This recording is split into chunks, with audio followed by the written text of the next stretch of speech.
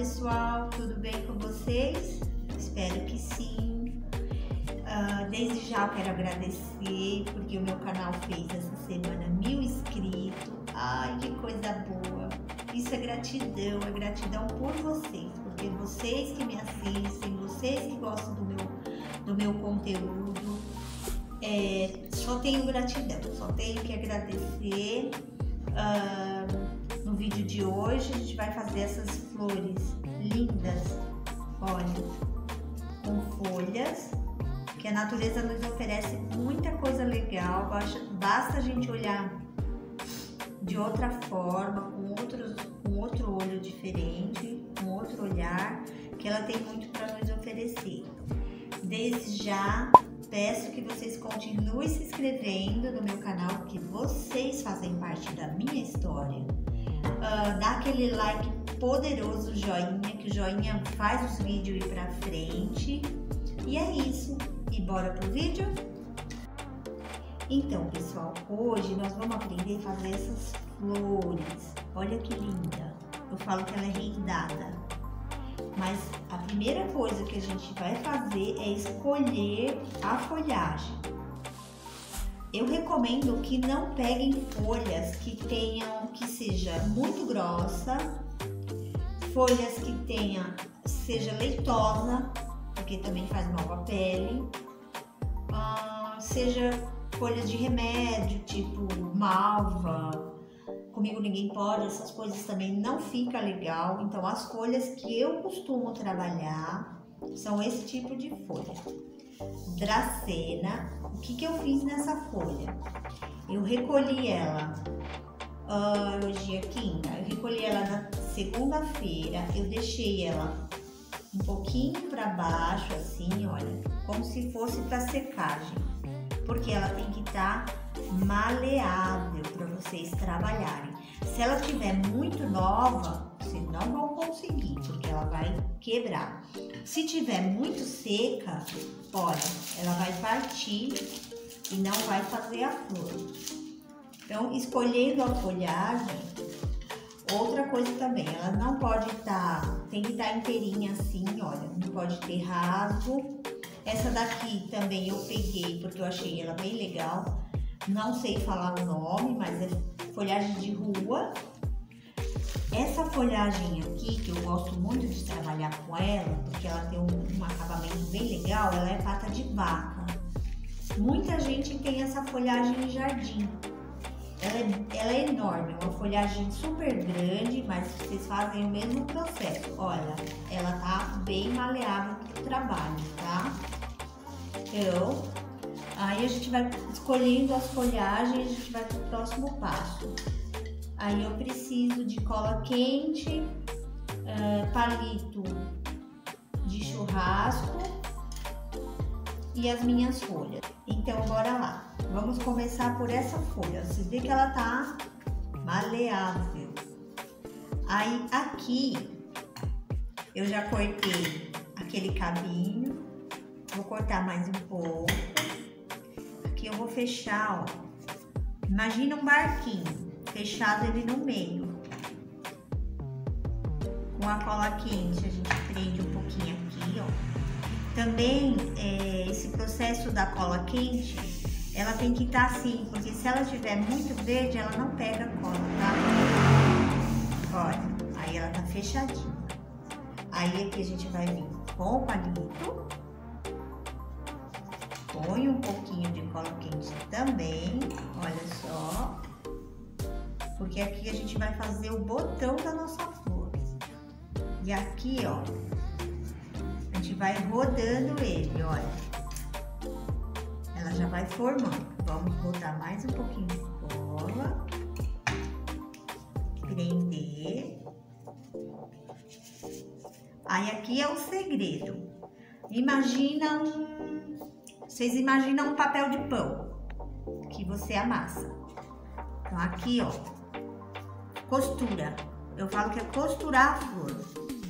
Olha só, vai pegando e amassando. Pegando e amassando. Olha só, ela já vai formando o botãozinho da nossa flor. um pouquinho de cola, mais uma amassadinha, ó. olha que linda. Aqui, o que que acontece? O veio que tem no meio da flor, da folhagem, que é esse aqui, vai dar a sustentação do nosso botão. Amassa de novo, ó, um pouquinho de cola. Amassou de novo. Aí o biquinho aqui, ó, esse biquinho, um pouquinho de cola e prende aqui. Olha só que fofinho. Para ela segurar melhor,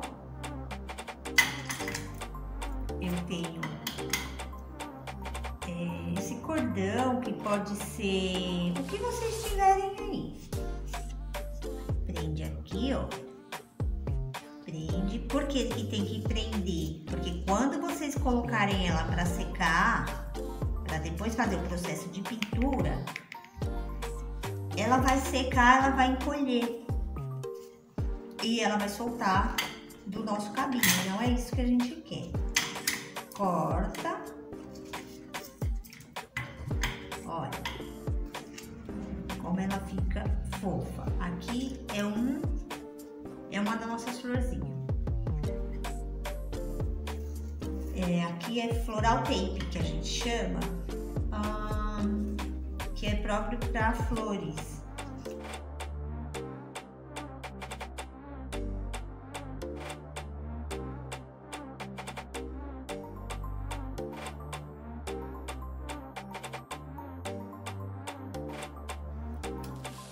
Próxima flor é com essa folhagem que é a pata de vaca. Aí nós temos que fazer o quê? Ela tem o veio aqui, ó. Ela também tá maleável, olha, para trabalhar. Nós vamos tirar todinho essa parte, porque ela é muito dura e não dá certo. Eu gosto muito de trabalhar com essa folhagem porque ela parece que ela tem renda, ela é linda. O que, que a gente vai fazer? Ela tem os dois também, é, não pode estar tá rasgada, tá? Tem que estar tá inteirinha. Então, aí, cortada elas, corta um monte já, vocês fazem um monte de uma vez. A folha, ela tem o lado brilhante e o lado fosco. Então, o que vocês vão fazer? O lado brilhante vira para mim e o lado fosco para lá. Por quê? Vocês já vão entender. O palitinho faz um aqui, ó, um pouquinho de cola quente, porque se a cola, se o, a flor tiver, a folhagem tiver muito verde, a cola também não vai pegar, ela tem que estar tá com essa textura. Essa folha, ela é linda porque ela já tem esse ondulado, então ela vai fazendo um botão muito legal. E aí vocês vão costurando a folha. Não precisa de muita cola, tá?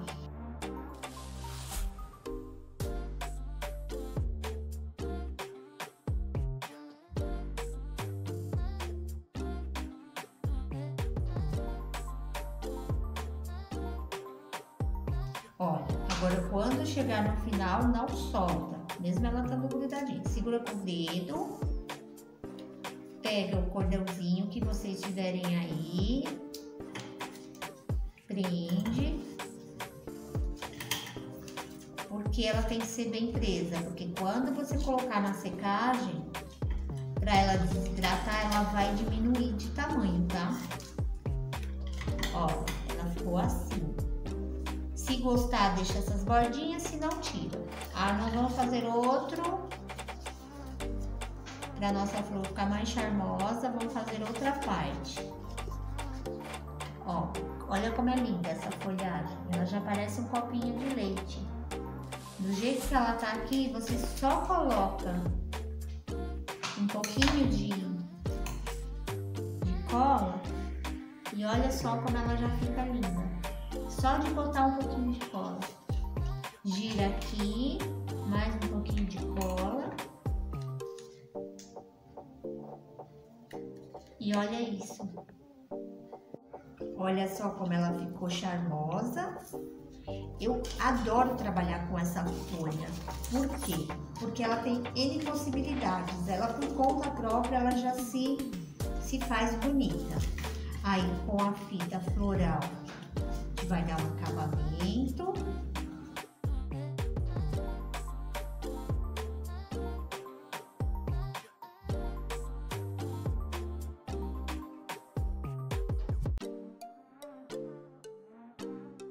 Então, pessoal, agora as flores todas prontas. Olha como elas ficaram lindas.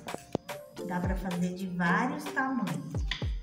Então, eu tentei pintar, mas não ficou muito legal com elas verde. Tem que esperar secar. Quando secar, vocês pintam. No meu canal tem um vídeo eu ensinando é, como pintar folhagens, flores, enfim. Essa daqui também. Eu tentei pintar ela verde, mas ela também não ficou do meu agrado, ela não ficou muito legal. Aqui eu passei tinta látex, não ficou muito bonita. Essa daqui eu pintei ela com spray dourado, mas também se ela tivesse seca, ela tinha ficado muito mais legal. Olha só, essa parece um botão de rosa. Essas daqui, elas já estão mais, um pouco mais seca, olha. Mas ainda precisa secar mais. Olha só essa, que é de um outro tronco que eu peguei no parque. Essa daqui, a minha filha achou linda, eu não gostei muito não. Mas também é feita de folhagem, também vou levar para secagem. E é isso, pessoal. Como vocês devem secar essas flores antes da pintura? Para levar para secagem, o que, que, vocês vão fazer? É, pega, como elas já estão todas prontas, vão fazer assim, ó, com esse barbante, prende aqui, certo? De cabeça para baixo, tá? Então, aí peguei três das minhas das nossas flores, que as flores não são só minhas, eu ofereço para vocês também.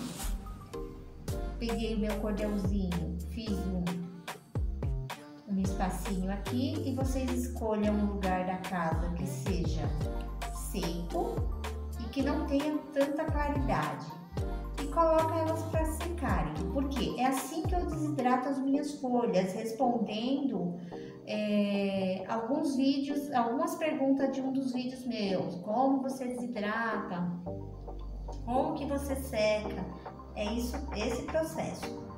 Passando mais ou menos uns umas duas semanas, uma semana e meia, ela já começa a ficar assim, olha. Vê que elas já estão ficando, mas elas ficam bem durinha, olha. Bem durinha mesmo. Depois elas vão ficar assim, bem seca. Aí aqui é o processo de pintura. aí vocês escolhem a tinta que vocês quiserem, é, PVA com artesanato, anilina com com álcool, anilina com vinagre branco, enfim, tem uma série de pintura que vocês podem estar fazendo, certo pessoal? Olha, espero que vocês tenham gostado do vídeo, são coisas bem simples, mas que eu faço com bastante carinho, porque se eu aprendi, por que não ensinar? Muita gratidão por cada um de vocês, espero que estejam todos com saúde Deixe o seu joinha poderoso, que ele é muito importante. Se inscreva no meu canal e até o próximo vídeo.